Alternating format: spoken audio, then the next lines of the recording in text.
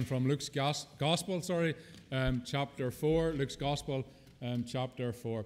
It's lovely to have the Reverend David Hagan with us again, brother, and your family. So I'm going to ask you, would you just come and just pray for us again and just commit this uh, time to the Lord, that the Lord would open our hearts.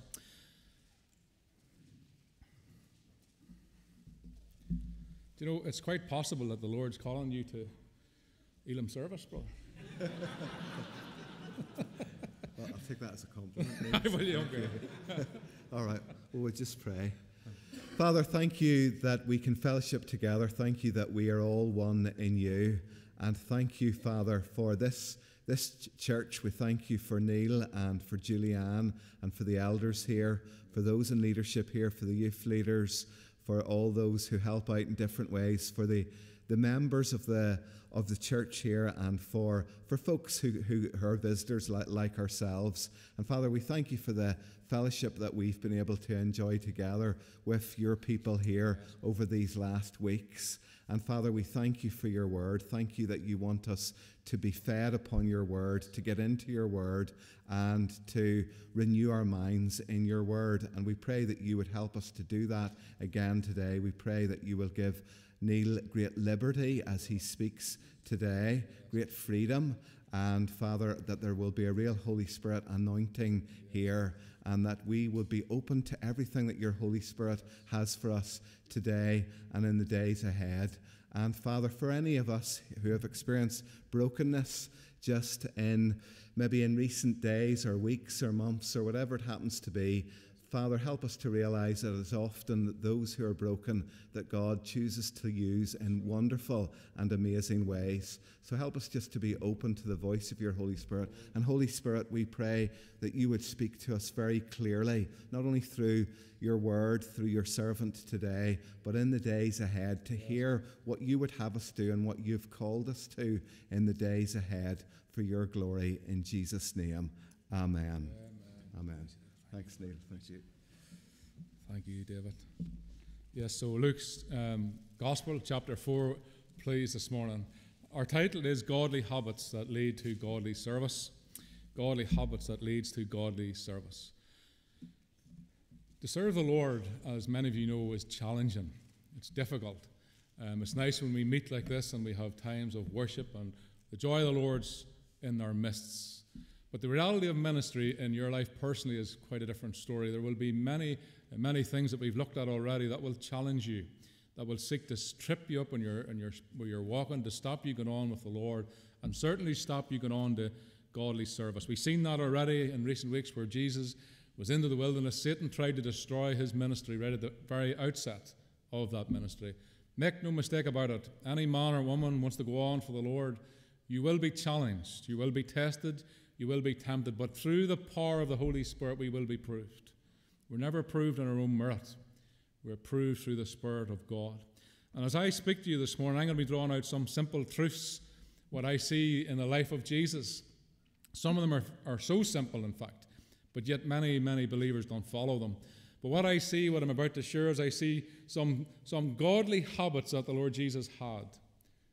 And through them godly ha- habits, what I see, and he entered into a greater ministry. A door was opened for greater ministry. And I believe that the path that he has led is for us to follow. That means godly habits is very important in the life of a believer. And without godly habits, there'll be no godly service. Is that fair to say? It doesn't mean we can't serve God. We're talking about godly service. People who are anointed by God, who hear from God and see great things done by God through their life. So let us start reading Luke's chapter Luke chapter 4, verses 14 through. So Jesus entered Galilee in the power of the Spirit, and news about him spread through the whole countryside, where he was teaching in their synagogue, and everyone praised him. He went to Nazareth, where he had been brought up, and on the Sabbath day he went into the synagogue, as he was customed, as was his custom. And he stood up to read, and the scroll of the prophet Isaiah was handed to him. Unrolling it, he found the place where it was written, The Spirit of the Lord is upon me, because he has anointed me to proclaim the good news to the poor. He has sent me to proclaim freedom to the prisoners and recovery of sight to the blind, to set the oppressed or the captive free, and to proclaim the, proclaim the year of the Lord's favour. And then he rolled up the scroll, gave it back to the attendant, and he sat down. And the eyes of everyone in the synagogue were fastened on him.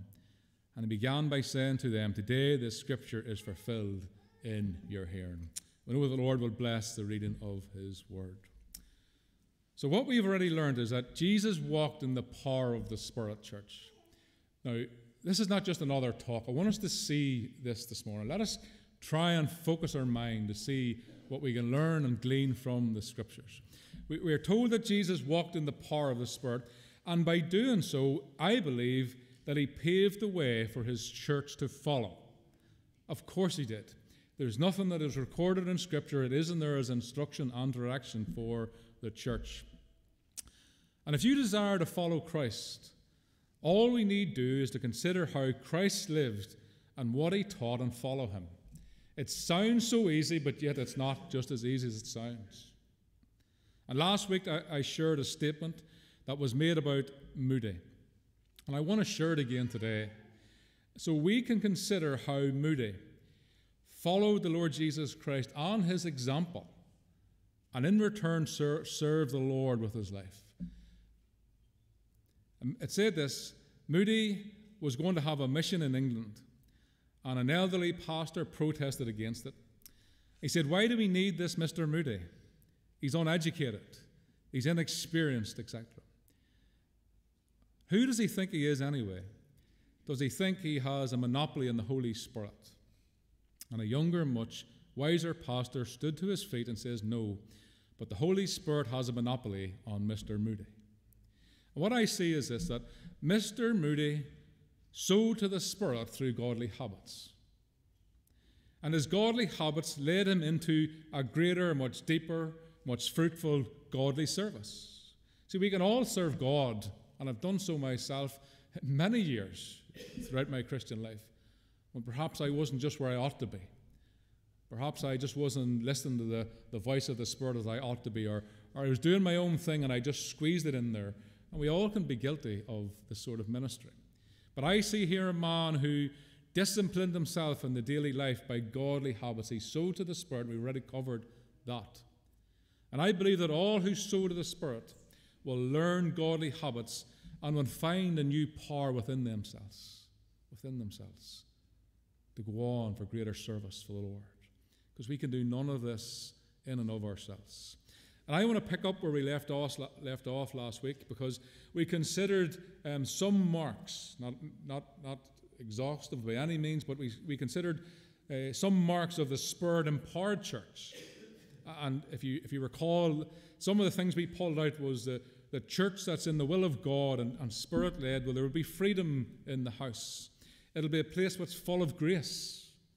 It'll be a place where there's a type of fame, eh, as we've seen with Christ. What that means is there'll be a report going out. A good people will be talking about the church. A place where the Word of God is central and the people of God are able to teach and encourage one another, at least in the elementaries, how to be saved. Now, the, ch- the church is Jesus Christ's body here on earth. And so when I look at Jesus, this is the type of man that I see. And this should reflect his church. I see a man that was rock solid, a man that was proved by God, a man who was full of goodness, a man who was full of grace and truth. He was a man of knowledge. He's a man who was able to teach and instruct both the pauper and the king. Because that's what the word does, it's applicable to all levels of society. And I believe that his church is empowered by the Spirit to reflect His image. We, we, of course, we believe that. And if the church is going to reflect Christ, here's the thing she must follow the path that Christ Himself paved for her. Otherwise, we will not reflect Christ. And the path that has been laid out is what? It's the written word. Now, there's many scriptures with the word path in it, but let's quote a simple one this morning that we all will know and can justify and confirm what I've just said. It's Psalm 119, verse 105. And the psalmist writes, Your word is a lamp unto my feet, and a light to my path. See, the path that we travel, if it's not God ordained and scripture led, we will not reflect anything but the fleshly man or woman. Do you see that? If we, if we step outside of scripture and we start entering godly service, but we're not following the scriptures. It's ungodly service, and all will be on display is the man, the woman. So let's consider this morning, church, the path that Jesus walked. See what we can learn, because we can learn much from him. So, godly habits that lead to godly service. And I want to just, just push through this quickly this morning. So, the first godly habit is found in verse 16, if you want to look at your own scriptures. And in verse 16, we read something that we could very easily read over and miss. And it says this As Jesus came to Nazareth, which was his hometown, the place where he was brought up, it says, And as was his custom, he went to the synagogue on the Sabbath day. As was his custom, he went to the, uh, the synagogue on the Sabbath. Uh, what I see here to bring it into today's application, as was his custom, he went to church, if you like, on the Sabbath day. Now, listen, there's a danger here of legalism entering in. Now, you're all at church this morning, so this is no push or dig which some men use. This is just simply we're Bible teaching this morning. We're, we're observing. So, what, what we see here is that there is a type of legalism that could enter in here if we don't deal with this right. So, what this is not saying is that one must go to service or else. It's not saying that. But what it is telling us here is that Jesus had a godly habit, something that he wants you and I to see and observe.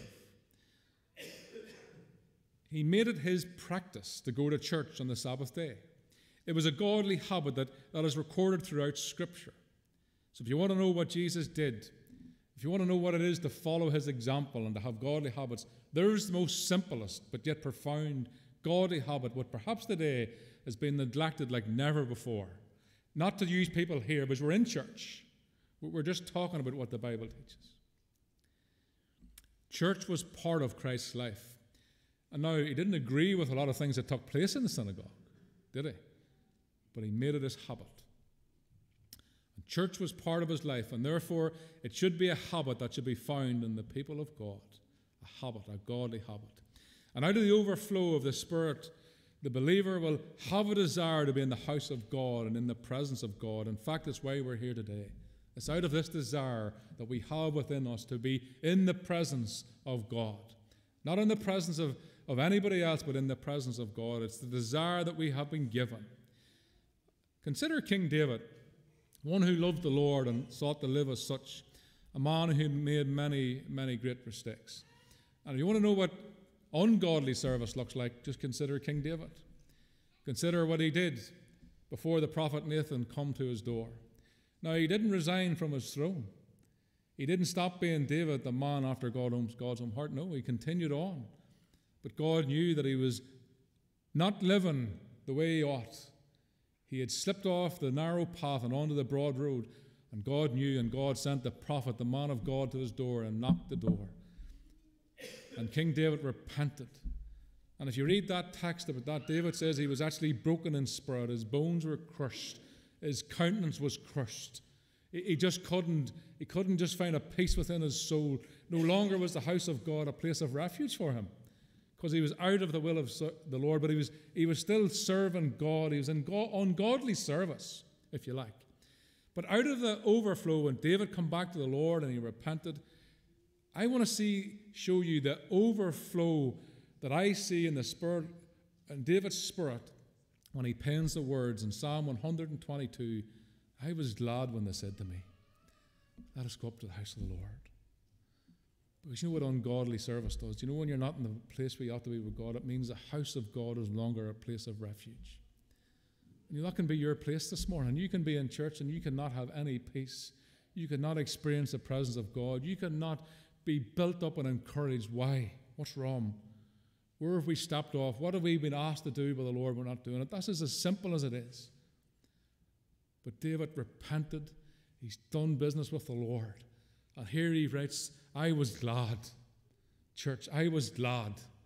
You see, that's what godly habits and godly obedience to the Word of God does. Because God will not let his people bluff. Thank God he doesn't let us bluff. He not leave us broken. Thank God he doesn't. And Jesus himself led, excuse me, by example, and he encourages his people to make public worship a godly habit. And godly habits will always lead to godly service. And ungodly habits will always lead to ungodly service. So that's the first point this morning. God, the first godly habit this morning is attend public worship. The second habit is endurance. Endurance is a habit, something we need to practice as well. We know that Jesus endured for 40 days in the wilderness. I don't want to cover that again. I just want to remind you of that. He's just, he's just after enduring. He learned to endure there in the wilderness. But I want to bring us on up to the book of Hebrews. You don't need to turn to it for the sake of time, but I'll give reference Hebrews 10 and 35. Now, listen to this. This, is, this takes a bit working out. And Paul writes this he says, Do not throw away your confidence. Do not throw away your confidence, which has great reward. And what's Paul saying here? Paul is saying this listen, keep living for Christ. Don't lose your confidence that you have in Him. Don't forget who you are and who it is that you serve. Don't lose your confidence in the man or the woman that you are of God. He goes on to say, if you have need of endurance, perhaps one of the biggest killers in the church today is a, a generation coming up that has no endurance. But listen, endurance is something that the Lord Jesus had to learn. And He learned for us that we could too follow His path. He says, You have need of endurance, that when you have done the will of God, you may receive what is promised. And here's the thing this is my opinion anyway godly service. Godly service doesn't come easy or naturally to us. It doesn't come easy. Would you agree with that, David? It doesn't come easy. Whether you're a pastor or, or whether you're a man or woman who just serves Jesus with your everyday life, it does not come easy to us. Godly service, it's very easy to do ungodly service because we can just bluff. But this is a call to godly service to put on godly habits. And we must learn to endure in our faith and in Christian service. I often make a joke about times feeling like driving past the door. Have you ever thought how, how many times you felt like giving up? But you haven't.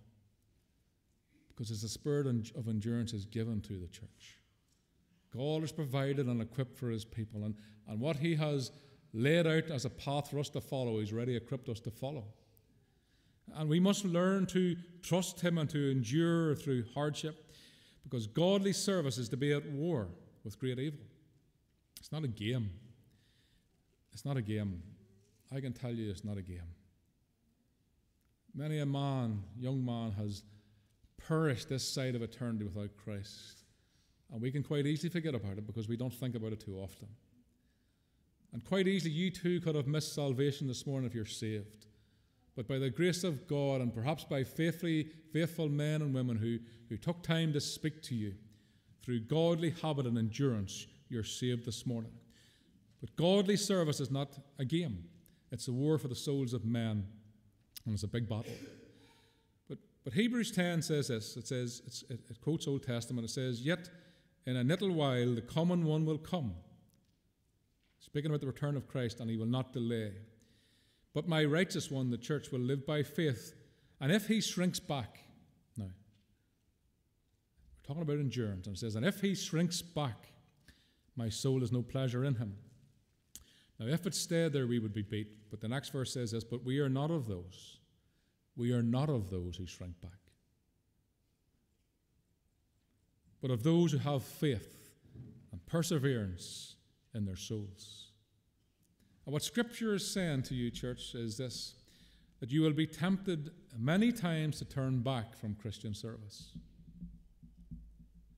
You will feel at times that God is at best distant in your life. That will happen.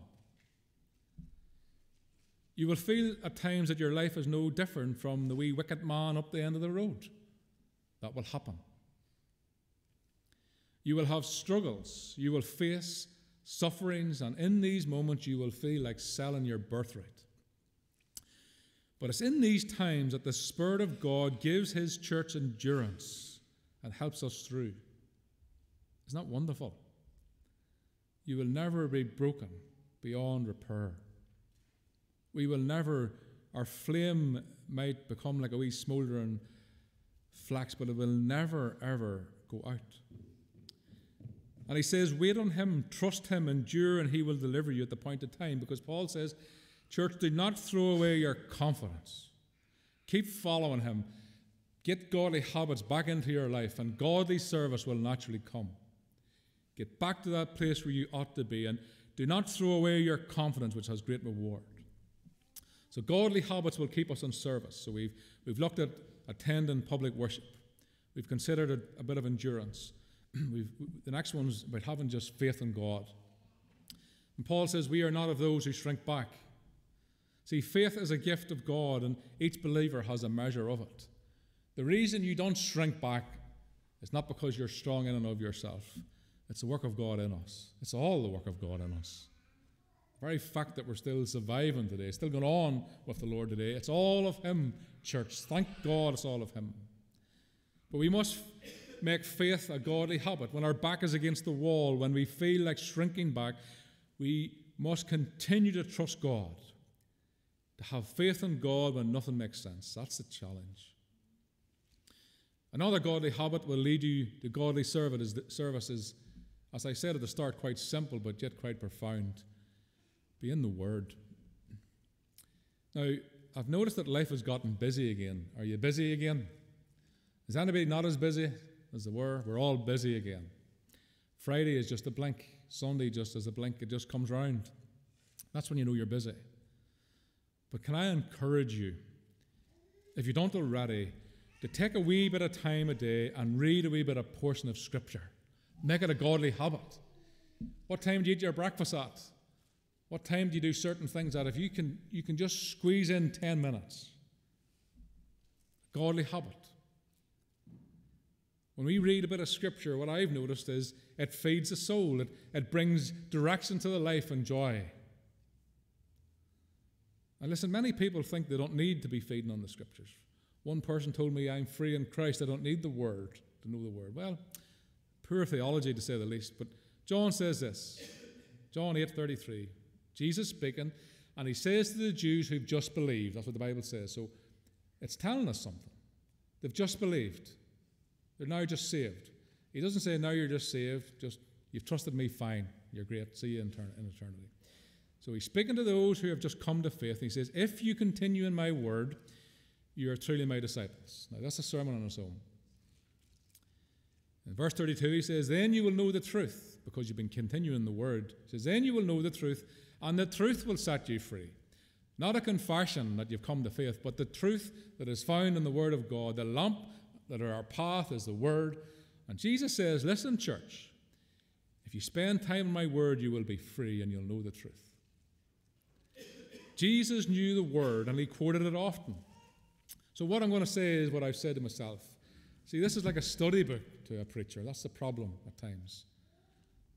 But to have fellowship with God is not to, to just study the Word, but to, to, to, to fellowship with the Word and just to get it into you.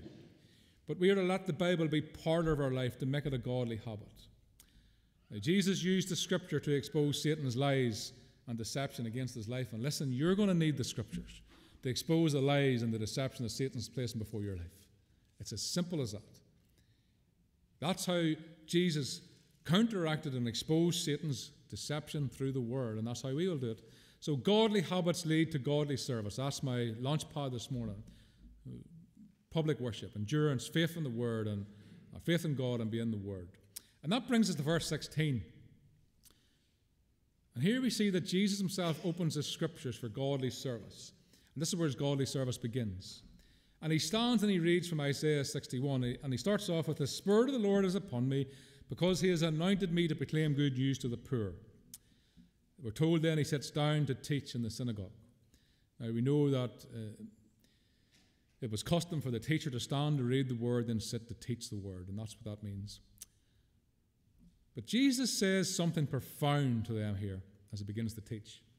Now you imagine I read Isaiah 61, and as I finished reading that bit, I says to you, right, today this scripture is fulfilled in your hearing. If you were half with it at all and listened this morning, you'd throw your Bible at me. Jesus said something profound. In other words, Jesus said, I am the Messiah, the promised Redeemer, the servant of God, I am Him. See, Isaiah 61, Jesus, that Jesus read, it's a prophecy concerning the promised Messiah. And what we notice is the promised Messiah comes as a man empowered by the Holy Spirit. You see that? And of course, we've already noted in this past few weeks that Jesus was filled with the Holy Spirit, and after being proved of God, he returned home in the power of the Spirit. You remember, remember that? What's, notice the opening words of Isaiah 61 The Spirit of the Lord is upon me, and he's anointed me. See, Jesus has tying it all up. And the Messiah was now standing before the people in the synagogue. The written word, the Logos, the living word, was now standing in their presence in the tangible. See, the problem is we listen to preaching week in, week out, and it just becomes blah. They had done that for years. Blah, blah. It's all they heard, blah. But when the very presence of God was in their midst, they still couldn't see it. They hadn't been in the Word, they didn't know truth, and they rejected Him.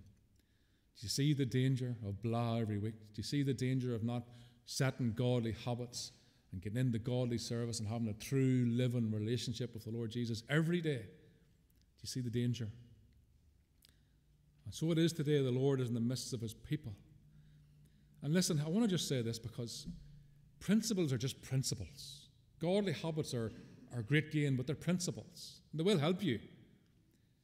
But the power of the Spirit has so much more to offer. Yes, it might help us attend service, it might, might help us read the Word and to deepen our faith, but it's got so much more than that. It empowers the church for godly service. And the path that Jesus led tells us that godly habits will lead us to greater service in the gospel. So the church is called and equipped to set people free from bondage of sin. Christian, I just want to say this to you this morning because it's hard to sometimes see where God is in your life when church is just once a week and whatever's in between. But I want to just say this to you as a Christian this morning. The place where you stand in, on a Monday or on a Tuesday or a Wednesday, the week that you live, the place where you find yourself in, is the place that God has planted you. See, when you look at it through a missional point of view, all of a sudden it all changes. It all becomes relevant all of a sudden you've got purpose. Your dead end job or the job that you despise, it's not by chance that you're there. If you're a business leader today, it's not by chance you've got influence over people. You see, you're planted where you are because that's where God has us. It's not always a place we want to be, is it, to be honest? But it's where He's planted us. He's planted you there to be a witness to others. And you may say that you don't have what it takes. I say that every day. We could all surely say that, couldn't we? We don't have what it takes. But one commentator said this he says, When God calls, he anoints, he equips the messenger with the Spirit. And the Holy Spirit goes with the messenger wherever God sends him. Where God has planted you, church, you're not alone. There's a power with you. And Christian, I believe this, and I've proved it in my own life as I considered what I'm about to say. When we practice godly habits, we begin to realize that we do indeed carry a different power source that's not of this world. Have you experienced that? I'm sure we have. Power to witness, power to share, power to stand out from the crowd and not go with the flow of this world. And when we, when we practice godly principles and godly habits, we, we begin to sense His presence more in our life. We begin to follow the old godly paths that Scripture has laid for us. Not the new modern liberal paths that we paved for ourselves, but the godly old paths, the hard road that we must travel. We begin to serve the Lord each day. The Messiah was to preach the gospel, church. The word gospel in the Hebrew is good news.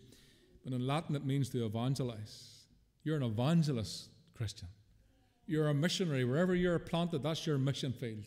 That's what the gospel is. He, he saves and he sends out his people. Some go to Africa and beyond, many of us go to our workplaces. That's the mission field. Now, I'm going to bring this in. Time goes fast up here. The Messiah was to preach to two classes of people the poor in spirit, and which is also the poor in material, and the captive. Now, if you look into that word, the captive, it speaks of one who is a prisoner. And here's the thing According to Scripture, all men are bound by sin, rich or poor. Without Christ, you're bound. And here's what the gospel simply is the church, we are to bring the gospel to all men, both rich and poor, of all sizes. The church is God's cho- chosen vessel, vessel to bring salvation to the world. And if you're saved, you're God's vessel.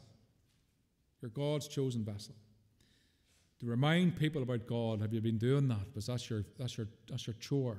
That's what you've been asked to do.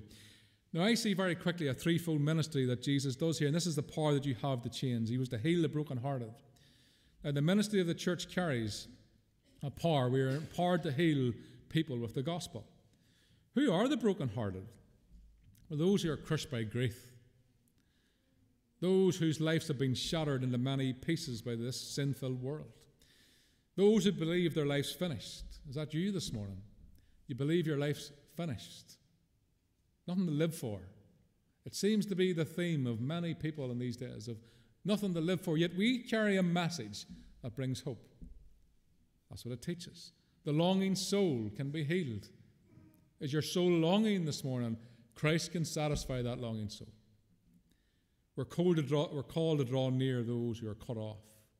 And here's the thing we're to tell the man who's been destroyed by sin that there's hope. We're to tell the woman who's been violated by sin that she can be restored.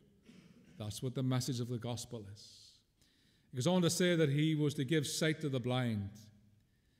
And maybe you're listening to this this morning and you just can't see a way forward in life.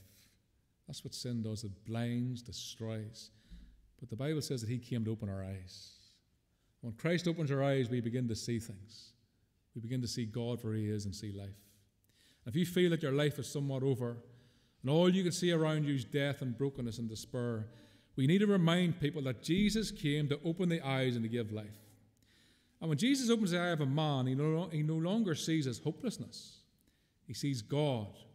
He sees eternity. And he becomes a worshiper of God.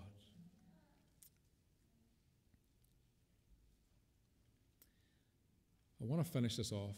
I'm going to miss a bit and go right to the end. I want to, we've looked at godly habits that lead to godly service. And here's the thing, church, Christian. What about the urgency of the call? Is there an urgency of the call? Why do we do what we do? If you serve in this church and, and ministry, why do you do it? Why do I do what I do? It's because I love stress. It's because I love questioning myself weekly. That's what happens.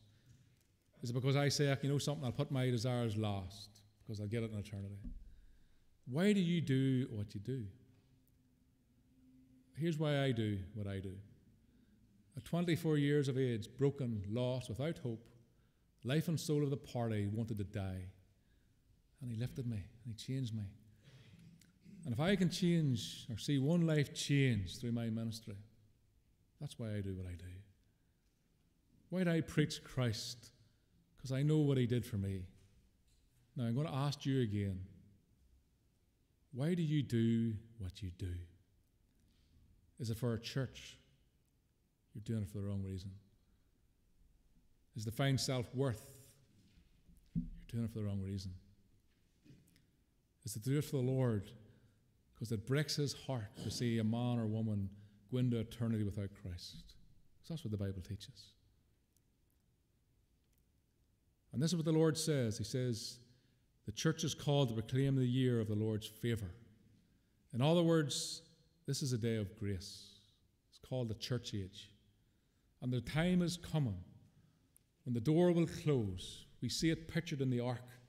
Noah preached for 120 years repentance and righteousness, and they all mocked. The great atheistic world that we live in now was his experience. And nobody come. And I want to know what it said. It said, The Lord closed the ark. It wasn't Noah. And the time will come, and the scriptures teach that the day of grace will be over, and the door of salvation will be closed, and God will retract his arm. Because at the moment his arms outstretched to save whosoever will. And I'm going to ask you again, church. Why do you do what you do? And if you get that bit right, you see the godly habits, They don't become chores, they fall into place. See, the godly service, it's not a habit. It's not something you have to persevere with. It falls into place. Because everything gets its perspective. We're here to serve the Lord Jesus Christ. And you know, if you have taught a child, taught a Sunday school, taught at the Bible class, have you preached from this pulpit, have you shared Jesus with anybody else, you're in the, soul, the business of winning souls. But see, if we allow ourselves to get caught up with all the wrong things, what do we end up doing? Creating bad habits. Bad habits that our children will follow, by the way, and learn. We'll end up doing ungodly service because we're not doing it out of the right heart. And God doesn't bless it. So, church, my time is completely finished, and I'm going to just stop it there. But what about a call to renewed godly service? What about it? What about asking why we do it? And you'll find you get an energy to do it. Amen? So, Father, we just thank you for your word this morning. Father, we can look at godly habits all we want, but Father, if our eye is not fixed on you, it's all just works. And Father, I pray this morning that, Lord, you would, Lord, pour that oil and wine over your church again this morning. God, stir us up. Lord, refresh us and build us up, I pray in Jesus' name. Father, I pray that godly service, God, would just come naturally to us. That, Lord, we would be a church that would go and Lord, tell and the brokenhearted that can be healed, to tell those who's bound by sin that they can be set free. Father, that we would carry with us, with us, God, the message of the gospel, trusting that God would do the rest. Lord, we give you the glory for it in Jesus' name. Amen. I'm going to ask the team just to come, please. Know, time goes.